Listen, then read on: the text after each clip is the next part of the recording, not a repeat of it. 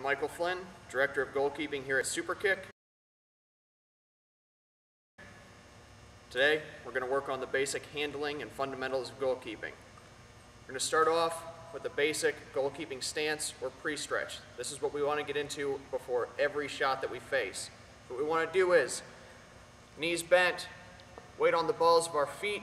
I also call it gorilla stance because we're down. We have our hard parts forward, our toes, our knees, our chest, chin, and hands, right?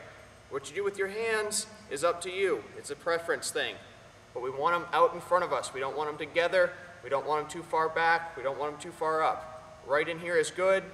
We can move them in any direction. It doesn't take too long. High ball collection.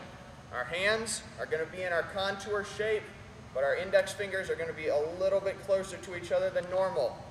We want to extend our arms up, slightly bent, catching the ball above our head, catching with our hands slightly on top of the ball, and having the ball in front of our forehead so we can see it the whole way in. We don't want to catch over or behind our head because we lose sight of the ball. If we don't catch it clean, it's going to land behind us. If we catch in front of it and we bobble it, right in front of us to scoop up.